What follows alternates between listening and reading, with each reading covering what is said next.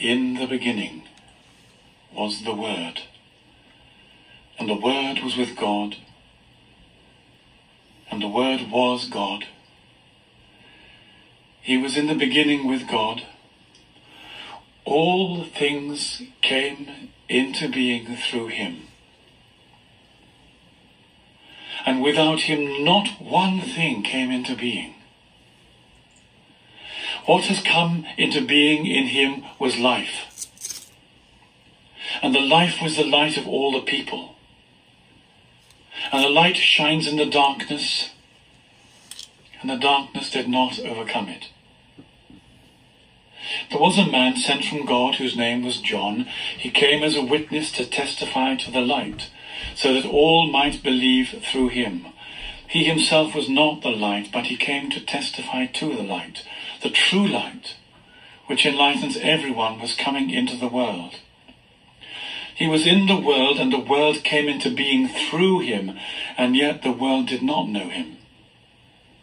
He came to what was his own, and his own people did not accept him. But to all who received him, who believed in his name, he gave power to become children of God, who were born not of blood, or of the will of the flesh, or of the will of man, but of God. And the Word became flesh and lived among us, and we have seen his glory, the glory as our Father's only Son, full of grace and truth.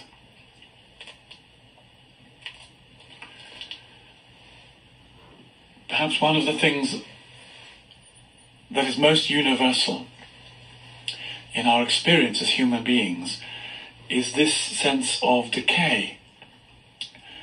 We get old and things aren't renewed. Things begin to hurt. People suffer and they die. There is an entropy.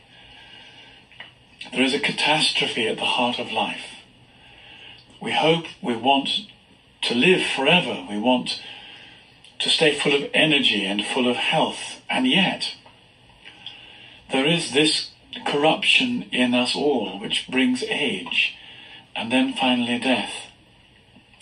On the whole, most people don't like talking about it. Indeed, we use all kinds of euphemisms to avoid talking about death.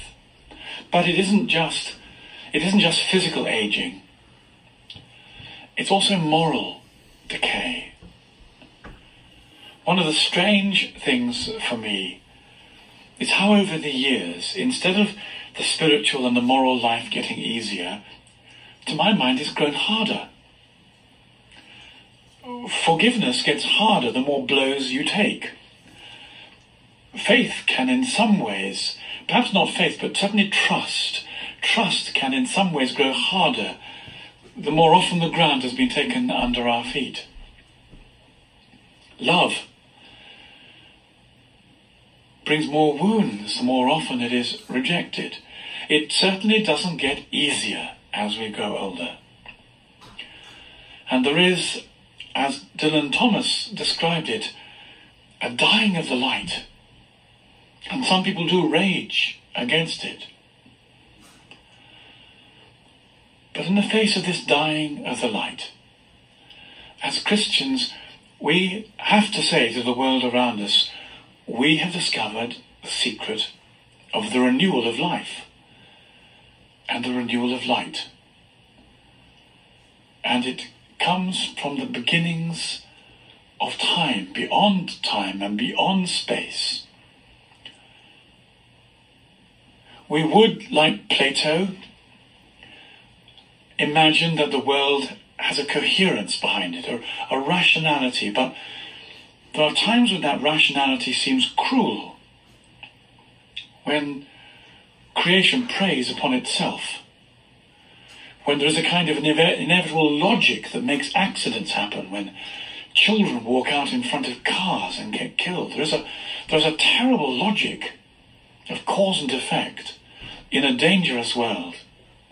And we might imagine, if we didn't know, if we hadn't been told, if we hadn't seen that reality was cruel and inevitable, it's certainly coherent. And if if it wasn't for Jesus, we might feel very vulnerable in this rational, causal, coherent universe where we find ourselves dying. But God chose to surprise us. He chose to find a way that was clothed in the language of love. And so he came vulnerably and secretly and gently and quietly and mysteriously because we are not ready to find him until we are hungry to know. And for as long as the people we live amongst try and shore up the existential difficulties of being human by entertaining and distracting themselves, by running after food and drink and all the constellations of the flesh, for as long as our community, our culture tries to fill up those spaces, so so this mysterious gift of love will escape them. Only when people have tried everything on the whole are they ready to hear of the secret that is Jesus. And then we can tell them that into the middle of the darkness and the coldness at the dead time of year, when the world is most dead, when it has exhausted itself, when the darkness is longest and deepest, the light comes into the darkness. Life comes to a sleeping and dying world. We've been shocked into being ashamed of Jesus. We are frightened to tell people who long for life that life has come to them. We're frightened to tell people who are scared of the darkness of politics and of man's inhumanity to man that light is possible for the human heart. We have to find the courage of our convictions. And this Christmas is another opportunity to say, without God, without love, without forgiveness, People die. The world dies. The night triumphs.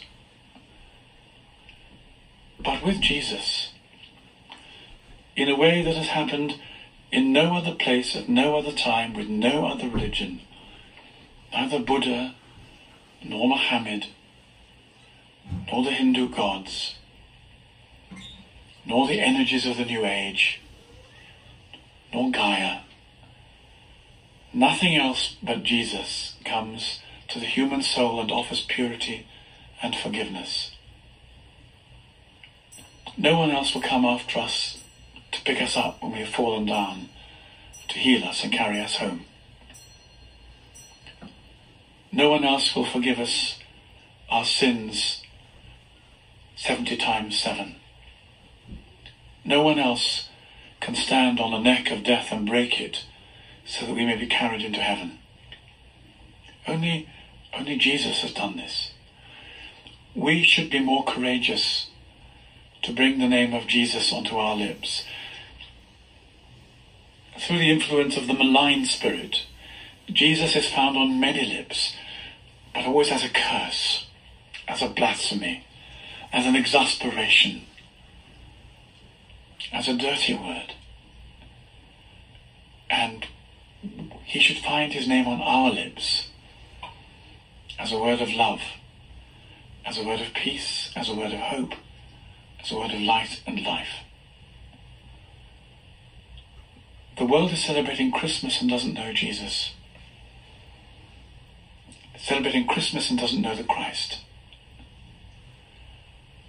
And good though it is to do social work, good though it is to feed the poor, and to help the homeless and look after the hungry. All obligations of this compassion lays upon us. The most important thing is to flee eternal death, to flee the suffocation of sins, to flee the darkness that casts a pall over the human heart. we have to find a confidence to tell people that Jesus is the answer to their guilt, to their despair, to their weakness, to their exhaustion, to their hopelessness. For his love come down in humanity, and he will rescue anybody who stops exhausted and turns to him and says, Help. Kyrie eleison. Lord have mercy. And as we face this new year, the turning of the earth, the coming of the light, we do it as companions of Jesus. For he has been born in our hearts. We take him into our hearts by faith, by love, through listening to his holy word, and through the most blessed and wonderful Eucharist. We encourage each other in this journey, for God has come into the world. He has come into the darkest place of all, the human heart, to bring life and light, to bring hope and forgiveness. And we offer him our praise day by day and our thanksgiving as we drive away the darkness and the hopelessness with songs of praise and songs of love, for these are now our calling. To him be the glory forever and ever. Amen.